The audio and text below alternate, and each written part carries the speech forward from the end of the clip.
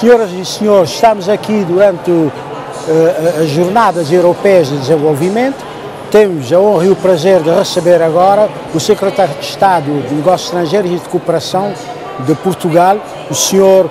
Uh, Brites Pereira, Luís Brites Pereira. Muito, muito obrigado pelo convite e a oportunidade para estar aqui.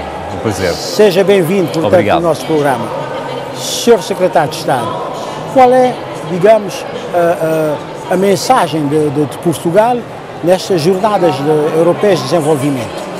Eh, eu diria que são duas mensagens. A primeira é que Portugal está empenhadíssimo, obviamente, em estar em articulação estreita com aquilo que são os propósitos europeus do desenvolvimento. Sim. E por isso, nas nossas ações, nas práticas, nas metodologias, nos objetivos, na programação comum, estamos alinhados com a Europa mas ao mesmo tempo queremos trazer para a Europa um olhar e um relacionar especial com a África. Julgo que Portugal tem uma capacidade de ouvir melhor a África e também queremos construir pontos com esse continente e servimos então de elo de passar essa mensagem. Muitas vezes as ações para serem bem-sucedidas precisam de ir ao encontro das necessidades concretas. Isso é, precisa, precisamos de ouvir. Sim, é evidente que de qualquer maneira a história colonial, isto é história, não? Isto levou a língua, portanto, para, para, outros países, quase para o mundo inteiro. A participação, Portugal com membro de CPLP, portanto, Comunidade de Países de Língua Oficial Portuguesa.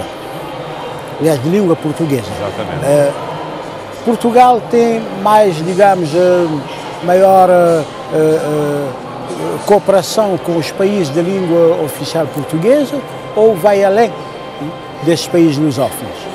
Começou com uma questão muito importante que é a facto a língua. A língua aproxima culturas e há valores e passados partilhados.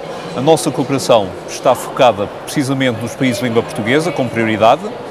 Eh, cinco em África, um em Ásia, Timor-Leste, depois temos cinco PALOPs e Timor-Leste, mas também estamos abertos às regiões desses países, é aquilo que nós chamamos de lusofonia global.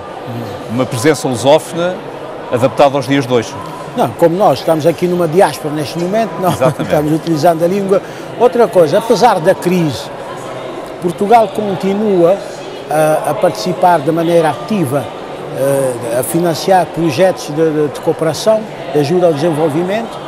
Continua ativamente a prosseguir os projetos da cooperação. É verdade que houve uma redução em função das circunstâncias que nós temos, mas também é verdade que procuramos melhorar a qualidade dos projetos e das iniciativas. Dois exemplos. A área de ciência e tecnologia, o conhecimento em prol do desenvolvimento e outra também muito importante, que é envolver o setor privado no desenvolvimento. Quer uma coisa, quer outra, quer o conhecimento, quer as empresas, são fundamentais para contribuirmos para o desenvolvimento lusófono. Precisamente falando da crise, hoje em dia, por exemplo, países como Angola, como Moçambique, assistimos um retorno eh, de, de, de muitos eh, portugueses, uma verdadeira parceria, parceria como se deve ser, horizontal. Horizontal, de igual para igual.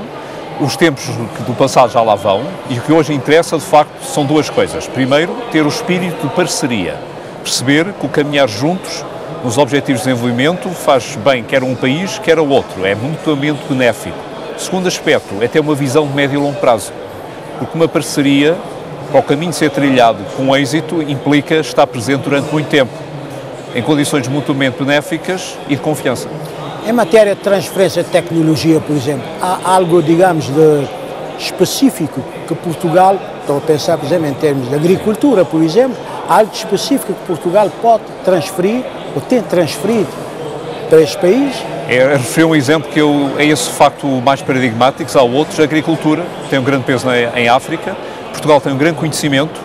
Houve uma mudança com este governo em termos institucionais, também transitou para o Ministério dos Estrangeiros, onde estou, um instituto tem, vai fazer 130 anos para o ano que vem, que tem este saber tropical da agricultura.